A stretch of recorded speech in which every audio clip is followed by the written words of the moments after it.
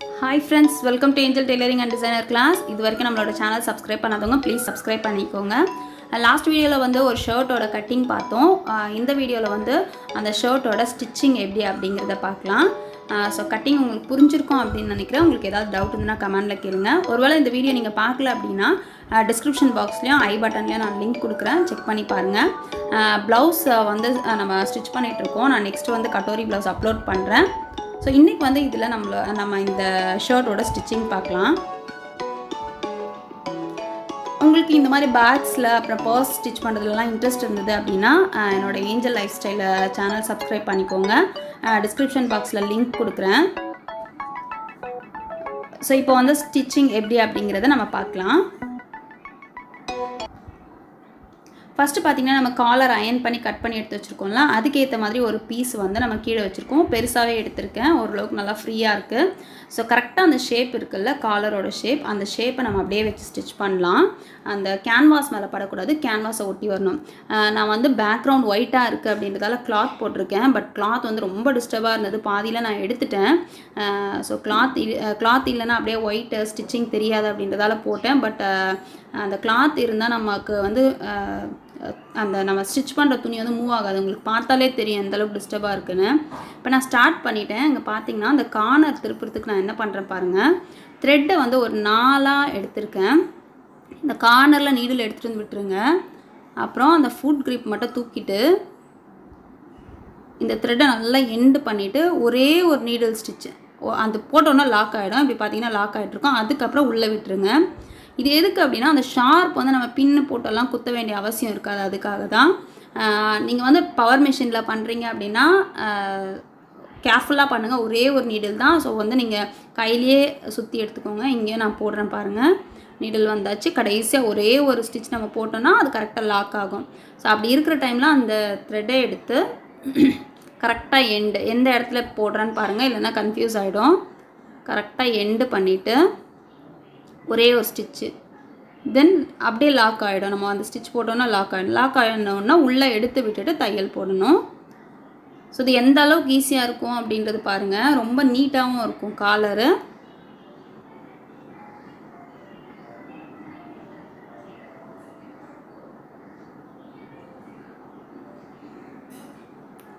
So இப்போ நம்ம என்ன பண்ண போகிறோம் அப்படின்னா ஒரு சுற்றி ஒரு கால் இன்ச்சை விட கொஞ்சம் அதிகமாக கிளாத் இருக்க மாதிரி விட்டுட்டு மிச்சம் எல்லாத்தையும் நம்ம கட் பண்ணிடலாம். அதிகமாக இருக்கிறதெல்லாம் கட் பண்ணிடலாம்.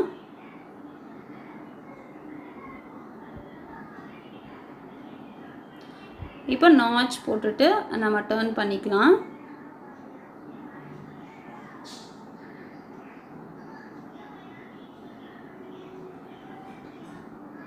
இப்போ பாருங்கள் அந்த த்ரெட் வந்து நம்ம உள்பக்கம் வந்திருக்கு. அது எடுக்கும் போதே உங்களுக்கு தெரியும் அந்த ஷேப்பு எக்ஸாக்ட் ஷேப் நம்ம என்ன ஷேப் போட்டோமோ அந்த ஷேப் வந்துடும் பாருங்கள் ரெண்டு த்ரெட்டையும் பிடிச்சி சேர்த்து பிடிச்சி இழுக்கணும். ஒன்று இழுத்திங்கன்னா தனியாக வந்துடும் ரெண்டையும் அப்படியே சேர்த்து பிடிச்சி இழுத்திங்க அப்படின்னா உங்களுக்கு வந்து அந்த ஷேப் வந்து நல்லா வந்துடும் அதுக்காக தான் இது யூஸ் பண்ணுறது இப்போ இதை வந்து நீங்கள் அயன் பண்ணிக்கலாம். அயன் பண்ணிவிட்டு காலேஜ் தையல் போட்டுக்கலாம். கட் பண்ணி எடுத்துடுங்க. இல்லை நகத்தில் கீறி விட்டுட்டேவும் நம்ம காலேஜ் தையல் போட்டுக்கலாம். ஸோ அயன் பண்ணிட்டோம்னா நமக்கு அந்த நீட்டாக இருக்கும். இப்போ காலேஜ் தையல் போட்டுக்கலாம்.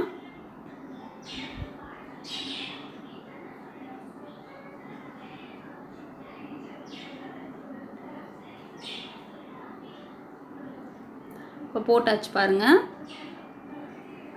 கீழே வந்து நமக்கு அந்த இடத்துல ஃபினிஷ் ஆகிருக்கு அதுக்கு கீழே ஒரு கால் இன்ச் அளவுக்கு கிளாத் இருந்தால் போதும். ஜாயின் பண்ணுறதுக்கு மிச்சத்தை நம்ம கட் பண்ணி எடுத்துடலாம். இப்போ இன்னொரு அடிஷ்னல் பீஸ் ஜாயின் பண்ணி வச்சுருக்கோம்ல அதை வந்து நம்ம கட் பண்ணி வச்சுருக்கோம்ல ஃபோல்ட் பண்ணி தைக்கிற மாதிரி ஒரே கால் இன்ச் மட்டும் இருக்கிற மாதிரி எடுத்துட்டு அதை வந்து நான் ஃபோல்ட் பண்ணி அயன் பண்ணி வச்சுருக்கேன். அதை அப்படியே ஸ்டிச் பண்ணிக்கிறேன். அயன் பண்ணிட்டோன்னா நமக்கு நீட்டாக வரும். அதுக்காக தான் அயன் பண்ணி வச்சுருக்கேன். ஸோ இப்போ வந்து அது சுற்றியும் கால் இன்ச் மட்டும் இருக்க மாதிரி வச்சுட்டு மிச்சத்தை நம்ம கட் பண்ணிடலாம்.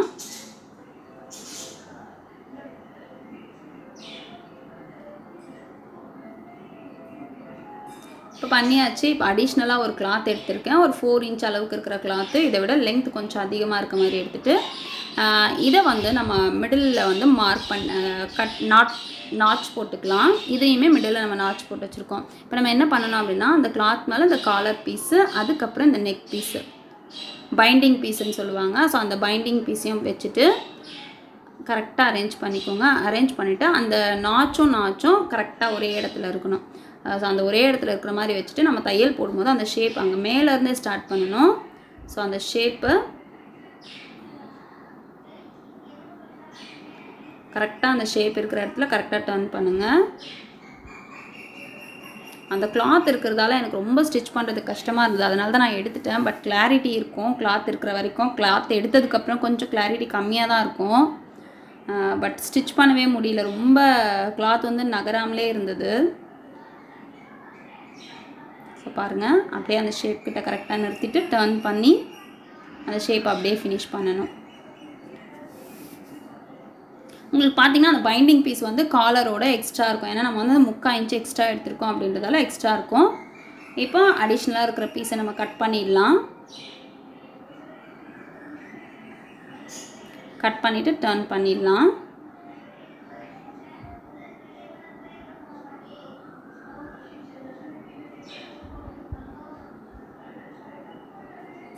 கிளாத் வந்து அடிஷ்னலாக இருக்குது அப்படின்னா நமக்கு வந்து டேர்ன் ஆகும்போது சுருக்க சுருக்கமாக இருக்க மாதிரி இருக்கும். ஸோ அடிஷ்னலாக இருக்கிற கிளாத் கட் பண்ணிவிட்டு ஸ்லைட்டாக நாச் போட்டுக்கோங்க. நாச் போட்டுட்டு டேர்ன் பண்ணிக்கோங்க. ஸோ இப்போ டேர்ன் பண்ணதுக்கப்புறம் பாருங்கள்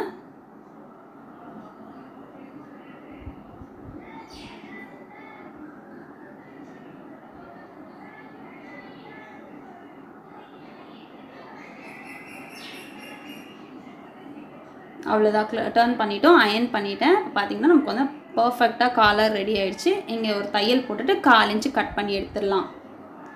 ஸோ நான் இந்த மாதிரி காட்டியிருக்கேன். டேபிள் மேலே வச்சு காட்டிட்டு அதுக்கப்புறமா ஸ்டிச் பண்ணியிருக்கேன். அதனால் கொஞ்சம் ஃபாஸ்ட்டாக இருக்கும். உங்களுக்கு புரியும் அப்படின்னு நினைக்கிறேன்.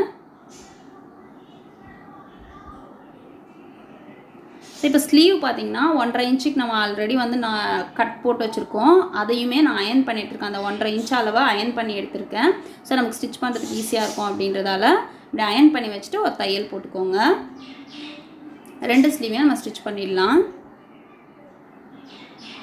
மிஷின் மேலே வந்த உடனே உங்களுக்கு அந்த ஸ்லீவ் எங்கே இருக்குது அப்படின்றதே தெரியாத மாதிரி இருக்குது ஸோ நான் நெக்ஸ்ட் வந்து இன்னொரு வீடியோ நான் ட்ரை பண்ணுறேன் போடுறதுக்கு வேறு ஒரு கலரில் வந்து ஸ்டிச் பண்ணி காட்டுறேன். ஏன்னா ஷர்ட் வந்து நிறைய பேருக்கு அது எப்படி பண்ணணும் அப்படின்ற ஐடியா எல்லாமே நம்ம வந்து கடையில் தான் கொடுத்து ஸ்டிச் பண்ணுற மாதிரி இருக்கும். ஸோ இன்னொரு ஸ்லீவையும் நம்ம ஃபினிஷ் பண்ணிடலாம். ரொம்ப ஈஸி தான். ஜஸ்ட்டு ஒரு ரெண்டு மூணு விஷயந்தான் வந்து ஷர்ட்டில் நம்ம பர்ஃபெக்டாக பண்ண வேண்டியிருக்கும். மற்றதெல்லாம் சைடு ஸ்லீவ் அட்டாச் எல்லாமே வந்து நம்ம லேடிஸ் ப்ளவுஸை விட ஈஸியான ஈஸியாக தான் இருக்கும். இது வந்து நம்ம அடிஷ்னலாக பீஸ் கட் பண்ணோம்ல அந்த பீஸு இங்கே நெக்கு இருக்குல்ல ஷோல்டர் அதாவது இது வந்து பேக் பார்ட்டு ஷோல்டர் கிட்ட நம்ம மிடில் நாச் போட்டு வச்சுருக்கோம். அதுவும் இதுவும் மேட்ச் ஆகணும். அப்படியே தூக்கி நான் டேர்ன் பண்ணி போடுறேன். இதுக்கு மேலே இன்னொரு பீஸ் ஃபஸ்ட்டு கீழே ஒரு பீஸ் போட்டால் அதுக்கு மேலே இன்னொரு பீஸு ஸோ இந்த தையல் வந்து நம்ம ஃபினிஷ் பண்ணும்போது நமக்கு தெரியாது. அப்படி வச்சுட்டு நம்ம அப்படியே ஒரு தையல் போட்டுக்கலாம்.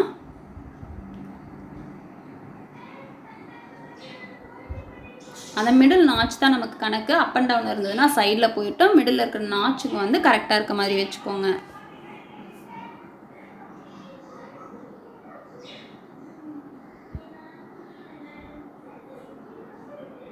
ஸோ போட்டாச்சு. இப்போ ஒரு பீஸை மட்டும் மேலே இருக்கிற பீஸை மட்டும் எடுத்துகிட்டு நான் படிமான தையல் போட்டுக்கிறேன். கீழே இருக்கிற பீஸ் போடாதீங்க. மேலே இருக்கிற பீஸ் மட்டும் படிமான தையல் போட்டுக்கலாம்.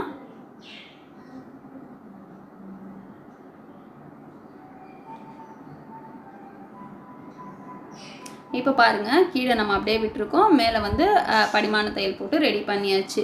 இது வந்து ஃப்ரண்ட்டு ஃப்ரண்ட்டையுமே வந்து நம்ம அந்த ஃபோல்ட் பண்ணுறதுக்காக விட்டுருக்கோம்ல அதை ஃபோல்ட் பண்ணணும். ஸோ ஃபஸ்ட்டு ஒரு ஹாஃப் இன்ச்சு அதுக்கப்புறம் ஒரு ஒன் இன்ச் அளவுக்கு ஃபோல்ட் பண்ணணும். ஸோ ரெண்டையுமே அதே மாதிரி நம்ம ஃபோல்ட் பண்ணிடலாம். அதையுமே நான் அயன் பண்ணி எடுத்து வச்சுருக்கேன். ஃபோல்ட் பண்ணி ஸ்டிச் பண்ணிடலாம். ஃபஸ்ட் ஒரு ஃபோல்ட் நெக்ஸ்ட் ஒரு ஃபோல்ட் ஸோ ஃபோல்ட் பண்ணி ஸ்டிச் பண்ணிடலாம். இதில் வந்து டிஃப்ரென்ஸ் வருமானா பட்டன் சைடு வந்து ஒரு ஒரு பாயிண்ட் ஒரு பாயிண்ட் ஃபோல்டிங் கம்மி பண்ணிக்கலாம். காஜா சைடு வந்து ஒரு பாயிண்ட் வந்து அதிகமாக வச்சுக்கலாம். ஸோ அந்த மாதிரி வச்சோன்னா நமக்கு வந்து பர்ஃபெக்டாக இருக்கும். ஸோ கரெக்டாக ஃபோல்ட் பண்ணி ஸ்டிச் பண்ணி இதெல்லாம் வந்து ஏன் அயன் பண்ணியிருக்கேன் அப்படின்னா அந்த மெஷர்மெண்ட் சேஞ்ச் ஆகக்கூடாது அப்படின்றதால தான் அயன் பண்ணியிருக்கேன். ஸோ அயன் பண்ணணும்னு அவசியம் இல்லை. நீங்கள் நகத்தில் கீறி விட்டே கூட யூஸ் பண்ணலாம் ஸ்டிச் பண்ணலாம். ஒன்று வந்து கீழ் பக்கத்துல இருந்து தைச்சோம் இன்னொன்று வந்து மேல் பக்கத்துலேருந்து தைக்கிறோம். ஸோ பாருங்கள் ரெடி ஆயிடுச்சு.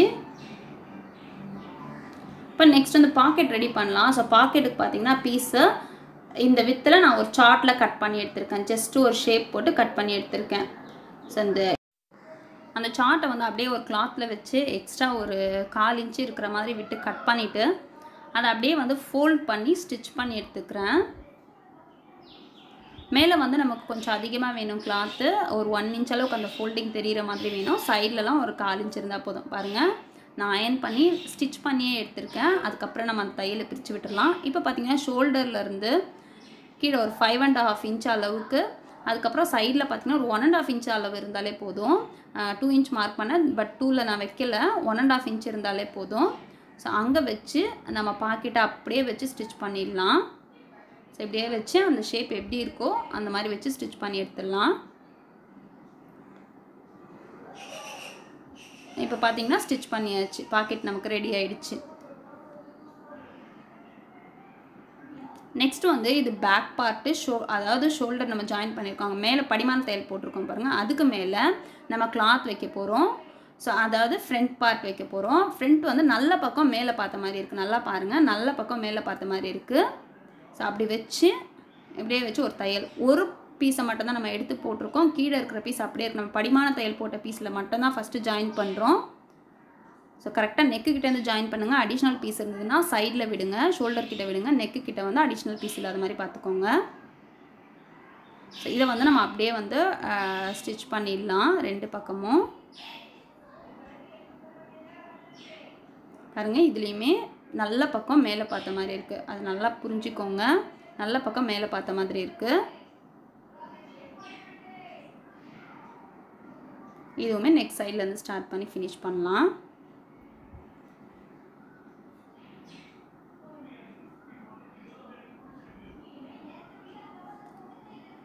இப்போது இதுதான் நமக்கு மெயின் கீழே இருக்கிற பீஸை எப்படி அட்டாச் பண்ணுறோம் அப்படின்றது பார்த்துக்கோங்க. இது இருக்குல்ல இதெல்லாம் வந்து நம்ம சைடில் எடுத்து விட்டுடலாம் சைடில் எடுத்து விட்டுட்டு இந்த பீஸை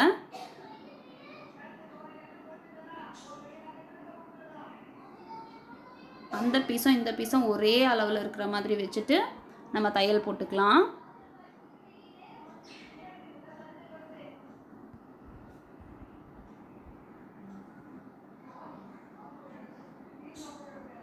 உள்ள கிளாத் எதுவும் மாட்டக்கூடாது. கரெக்டாக பார்த்துக்கோங்க. பார்த்துட்டு தையல் போட்டுக்கோங்க.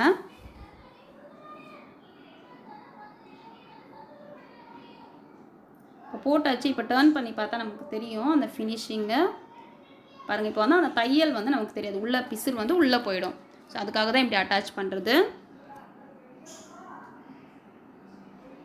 ஸோ இப்போ இன்னொரு பக்கம் பாருங்கள் இன்னொரு பக்கம் காட்டுறேன். உங்களுக்கு அப்போ புரியும். இந்த பீஸ் இருக்குல்ல இப்போது சைடில் இருக்கு பாருங்கள் இந்த பீஸை சைடில் எடுத்து இந்த அடிஷ்னல் பீஸை எடுத்து ரெண்டும் ஒரே இடத்துல இருக்க மாதிரி வச்சு நம்ம தையல் போடணும். உள்ளே வந்து கிளாத் மாட்டுறதுக்கு நிறைய சான்ஸ் இருக்குது ஸோ அது மாட்டாத மாதிரி வச்சு தையல் போட்டுக்கோங்க.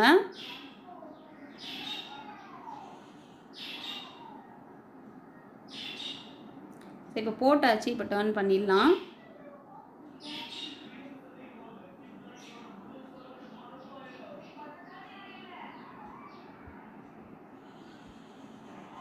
இப்போ வந்து இதில் ஒரு படிமான தையல் போட்டுக்கலாம். ப்ரெஸ் ஸ்டிச் சொல்லுவாங்களா படிமான தையல் அது ஒன்று போட்டுக்கலாம்.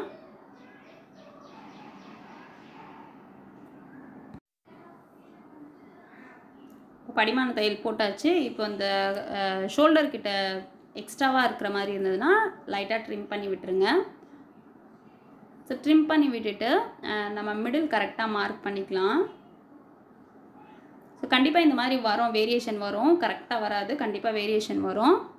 இப்போ வந்து இதெல்லாம் நம்ம ஃபினிஷ் பண்ணிட்டோம். இங்கே உங்களுக்கு தையல் வேணும்னா போட்டுக்கலாம். அப்படி இல்லைன்னா அதை அப்படியே விட்டுடலாம் இப்போ கரெக்டாக எக்ஸாக்டாக அந்த கைக்கிட்ட ஆமோல் கிட்ட வச்சுட்டு மிடில் மார்க் பண்ணுங்கள் நம்ம வந்து ஷோல்டர் ஜாயின்லேருந்து பண்ணுவோம். பட் இது வந்து அந்த மாதிரி வராது. இப்படியே வச்சு மிடில்லையே நம்ம ஜாயின் பண்ண ஆரம்பிக்கலாம். இது வந்து சிம்பிள் மெத்தட்ஸ்லி ஷர்ட் ஸ்டிச் பண்ணுறது இன்னும் வந்து ரெடிமேட் ஷர்ட்ஸ் மாதிரி ஸ்டிச் பண்ணோன்னா ஜாயின் பண்ணுறதெல்லாம் இந்த மாதிரி வராது. பிசுரே தெரியாத மாதிரி தான் அதெல்லாம் ஜாயின் பண்ணியிருப்பாங்க ஸோ அது வந்து இன்னொரு வீடியோவில் வந்து நான் போடுறேன். அது எப்படி ஜாயின் பண்ணுறது அப்படின்றத. இது வந்து சிம்பிளாக நம்ம ஸ்டிச் பண்ணுறதுக்கு ஏற்ற மாதிரி நான் சொல்லியிருக்கேன்.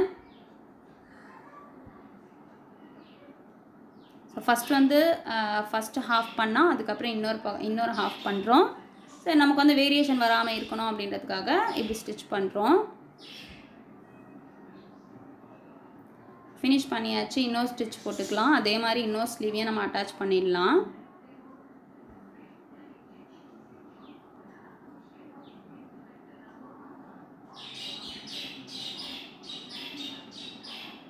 பாருங்கள் இப்போ கரெக்டாக ஃபினிஷ் ஆயிடுச்சு நெக்ஸ்ட்டு பார்த்தீங்கன்னா இப்போ மெயினாக காலர் நம்ம ஜாயின் பண்ண போகிறோம் காலர் ஜாயின் பண்ணுறதுக்கு கரெக்டாக எடுத்து வச்சுக்கோங்க. அந்த நெக்கு கிட்ட நம்ம ஆல்ரெடி நாச் போட்டு வச்சுருக்கோம். அதை எடுத்து வச்சுக்கோங்க.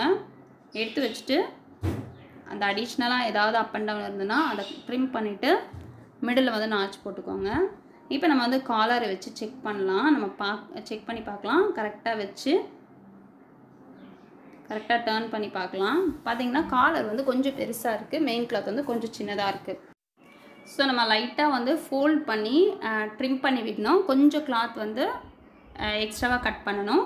ஸோ இந்த மாதிரி அட்ஜஸ்ட் பண்ணிட்டோம் அப்படின்னா நமக்கு கரெக்டாக ஆகிடும் பட் ரொம்ப பண்ணிடக்கூடாது. ரொம்ப பண்ணால் அதுக்கப்புறம் அட்ஜஸ்ட் பண்ண முடியாது. காலரை வந்து அதுக்கப்புறம் திரும்பி ஸ்டிச் பண்ணுற மாதிரி இருக்கும். ஸோ லைட்டாக ட்ரிம் பண்ணுறேன் ட்ரிம் பண்ணிவிட்டு நம்ம செக் பண்ணி பார்க்கலாம். இப்போ பாருங்கள் மிடில்லேருந்து வச்சு பார்க்குறேன் எக்ஸாக்டாக வந்துருச்சு கரெக்டாக வந்துருச்சு. இப்போ நம்ம ஸ்டிச் பண்ணிக்கலாம். நல்ல பக்கம் மேலே பார்த்த மாதிரி வச்சுருக்கேன். காலரை கரெக்டாக வச்சுக்கோங்க.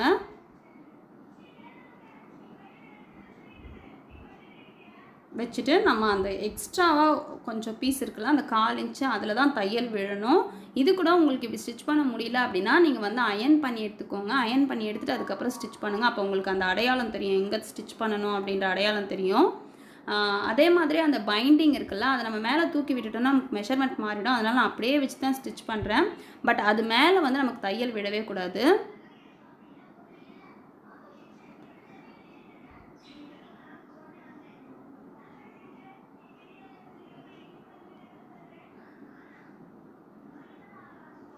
ஃபுல்லாக கரெக்டாக இருந்தது. ஸோ அப்படியே நான் ஸ்டிச் பண்ணிட்டேன். இப்போ அந்த கார்னரில் இருக்கிற எக்ஸ்ட்ரா கிளாத் லைட்டாக ட்ரிம் பண்ணி விட்டுட்டு நம்ம அப்படியே உள்ளே வச்சுட்டு ஸ்டிச் பண்ணிடலாம். சுருக்கம் வராமல் ஸ்டிச் பண்ணுங்கள் அவ்வளோதான் நமக்கு வந்து மேக்ஸிமம் வந்து ஷர்ட்டில் இவ்வளோ தான் மெயின் ஒர்க்கு இனி வந்து ஜாயின் பண்ண சைட் ஜாயின் எல்லாம் நம்ம அஸ் யூஷுவல் பண்ணுறது தான் கீழே ஃபோல்ட் பண்ணி ஸ்டிச் பண்ணணும். அவ்வளோதான் முடிஞ்சிருச்சு.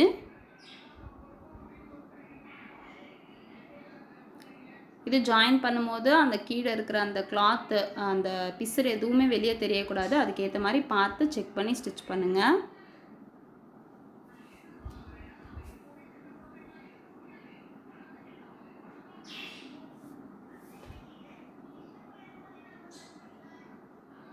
பார்த்திங்கன்னா ஃபினிஷ் பண்ணியாச்சு. நம்ம ஷர்ட் காலர் எல்லாமே பர்ஃபெக்டாக ஃபினிஷ் பண்ணியாச்சு.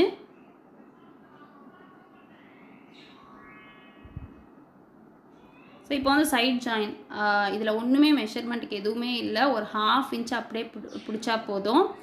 நம்ம மெஷர்லாம் பண்ண வேண்டிய அவசியம் இல்லை. ஏன்னா நம்ம அது கேல்குலேட் பண்ணி தான் எடுத்திருக்கோம் அப்படின்றதால அப்படியே ஒரு ஹாஃப் இன்ச்சு ஸ்லீவ்லேருந்து பாட்டம் வரைக்கும் அப்படியே ஹாஃப் இன்ச்சு ஸ்டிச் பண்ணால் போதும். ஏன்னா இதிலலாம் வந்து எக்ஸ்ட்ரா கிளாத் உள்ளே இருக்கக்கூடாது. இது வந்து கீழே ஃபோல்ட் பண்ணுறதுக்கு ஃபஸ்ட் ஒரு ஃபோல்டு நெக்ஸ்ட் ஒரு ஃபோல்டு அப்படியே பண்ணி நம்ம ஸ்டிச் பண்ணிடலாம்.